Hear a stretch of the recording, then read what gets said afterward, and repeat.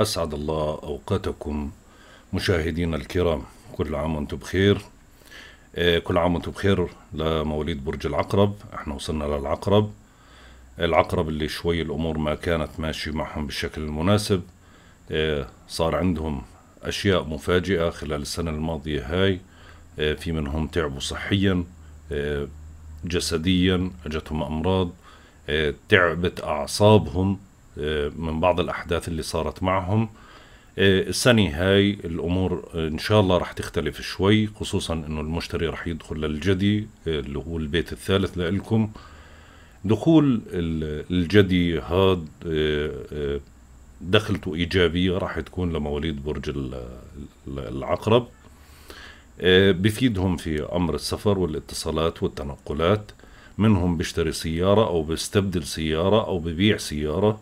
بيزداد شغفهم للدراسة والمطالعة والانضمام لدورات دراسية بيستفيدوا الطلاب في المرحلة ما قبل الجامعية اللي هي المراحل الابتدائية والثانوية من دراساتهم وامتحاناتهم وبيعززوا العلاقة مع الإخوة والجيران. آه، بعض مواليد العقرب بيمارسوا هواية مفيدة آه، ممكن يستفيد آه، التجار اللي هو المحليين من البيع والشراء وأيضا من اللي بيعملوا في مجال الاستيراد والتصدير.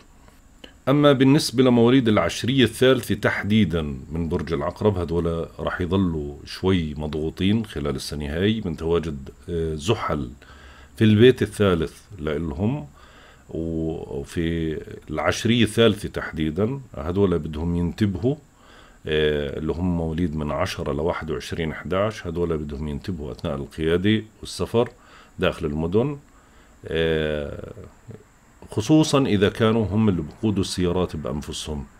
اللي بيشتري سيارة لازم يتفحصها بشكل ممتاز. إيه، اللي بده يسافر مسافة في سيارته بده يتفحص سيارته بشكل ممتاز. ما بده يأسرع ما بده يخالف إيه، إشارات المرور أو الكاميرات أو السرعة الزائدة أو الأشياء اللي مثل هيك.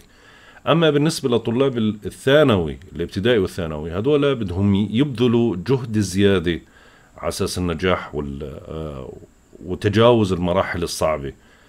ما يعتمدوا على الحظوظ بدهم يعتمدوا على جدارتهم.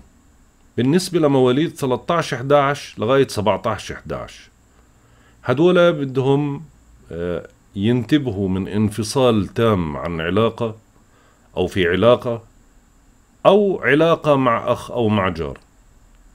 يعني بدهم يكونوا حذرين جدا بدهم يترووا بدهم يمسكوا حالهم بدهم يراجعوا نفسهم يعطوا حالهم فرصة على أساس أنه ما يوصلوا للمرحلة هاي.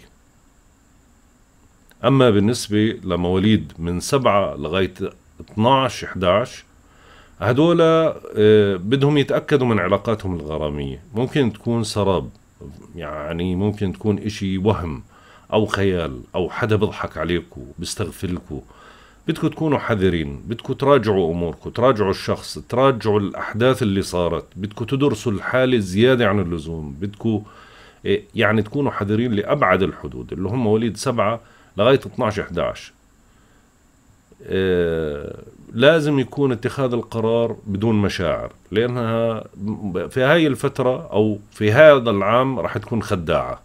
هؤلاء المواليد أيضا بطاردهم آه، شبح آه، الجائزة الأولى في اليانصيب آه، أو في في مسابقة معينة وبدون ما يبذلوا جهد لا وإحنا بدنا نعيش وإحنا رح نفوز وإحنا رح نكسب وبلاقوا حالهم رح يخسروا وما رح يستفيدوا الفترة مش مناسبة لهم هذا العام إنهم يدخلوا في هيك أشياء اللي هم مواليد من 7 ل 12 11 بيواجه مواليد 23 وحتى 31 عشرة. اللي هو تغيير مفاجئ خلال هاي السنة في مجال الشراكة سواء كانت شراكة عمل أو شراكة عاطفة آه، ممكن يعقدوا صفقات تجارية مع شريك جديد أو ممكن يدخلوا في شراكة مع شركاء سابقين ولكن تكون الشراكة بشكل أوسع وأكبر ونتائجها آه، آه، مفيدة أكثر. أو ممكن تصير عندهم آه، آه، علاقة عاطفية توصل فيها لمرحلة الشراكة.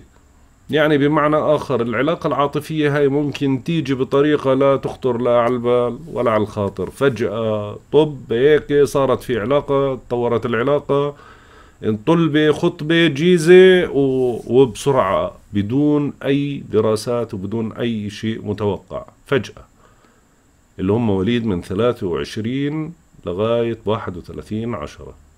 أما بالنسبة للمريخ المريخ اللي راح يكون موجود في مكان صعب شوي اللي هو البيت السادس لإلكم.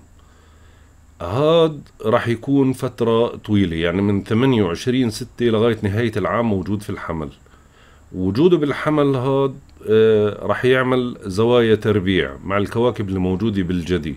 وفي نفس اللحظة راح يمر في فترة تراجع اللي هي في تاريخ 10 آه 10 9 لغاية 14 11 هاي الفترة يعني بدهم يديروا بالهم مواليد العقرب آه من آه يعني تعاملهم مع زملائهم في العمل من مشاكل من إنهم يفسدوا عليهم من إنه يكونوا هم سبب أذيتهم من خسارة علاقة زميل. بدهم يتجنبوا كمان رفع حاجيات ثقيلة عن الأرض لأنه بيكون أسفل الظهر عندهم عرضة للأذية. بدهم يبعدوا عن الأشياء هاي بشكل واضح تماما خلال فترة اللي هي من 28 6 لغاية نهاية العام. أما بالنسبة لكوكب الزهرة اللي راح يتراجع برضه في في الجوزاء اللي هو في تاريخ 13 5 من 13 5 لغاية 25 6 خلال هاي الفترة لازم تكونوا أكثر دبلوماسية في تعاملكم مع الآخرين. لا لازم تكونوا حذرين بطريقة التعامل مع أحبائكم. ممكن تتوتر العلاقة لأتفه الأسباب. آه، هاي الفترة سيئة بصورة عامة خصوصا للأشخاص المغامرين اللي بيشتغلوا في في العملة أو في تبديل العملة أو في الأوراق المالية أو في البورصة. أو في عمليات التجميل اللي هم أطباء التجميل أو اللي بدهم يعملوا تجميل. هاي الفترة من 13 5 ل 25 6 يعني نهائيا ما بنصح فيها آه، إنه حدا يتوجه لها. اثنين عدم البدء بأي علاقة غرامية جديدة وعدم الارتباط. يعني إذا في حدا بد... آه، واحد بده يخطب ومنشن على بنت وهو من برج العقرب يقولها معلش استني بس نطلع من الفترة هاي. و... أو بجيك في آخر بعد 25 ستة. يعني بجيكي في أول سبعة. انسوا الفترة اللي هي من 13 5 ل 25 ستة. ديروا بالكم من الأشياء اللي هي الأموال المشتركة. ديروا بالكم من القروض. إن كانت إلك وإن كانت عليك. لازم تكون دارس وضعك بشكل ممتاز. هل أنت راح تقدر تسكر هاي القروض؟ هل أنت هذا الدين راح تقدر تسكره؟ هل هاي الجمعية اللي أنا داخل فيها راح أقدر ألتزم فيها في هاي التواريخ؟ فعشان هيك بدكم تكونوا حذرين دائما وحاسبين حساب للإشي الجاي خصوصا في أمور الأموال. هنا ورقة وقلم واكتبوا. سجلوا هاي الأرقام اللي أنا راح أحكيها لأنها راح تنفعكم وراح تفيدكم خلال السنة هاي. واستغلوها ممتاز كل شهر عن إيش وشو الفايدة اللي موجودة فيه. وإن شاء الله راح تستفيدوا.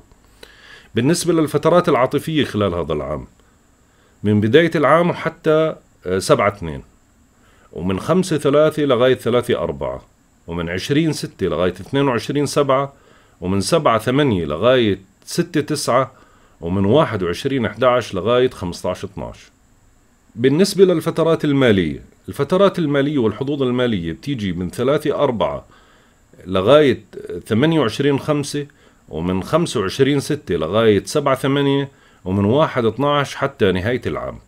بالنسبة لفترات العمل أفضل فترات للعمل اللي هي من سبعة اثنين لغاية خمسة ثلاث ومن 11 أربعة لغاية 27 أربعة ومن 5 3 لغاية 20 8 ومن 6 9 لغاية 2 10 أما الفترات الصعبة هي راح تكون من 20 3 لغاية 20 5 ومن 10 9 لغاية 14 11 وما تنسوا اللي هي فترة تواجد المريخ اللي هي من 28 6 لنهاية العام وفترة تراجع الزهرة اللي هي من 13 5 لغاية 25 6 هاي أصعب الفترات اللي راح تمر عليكم.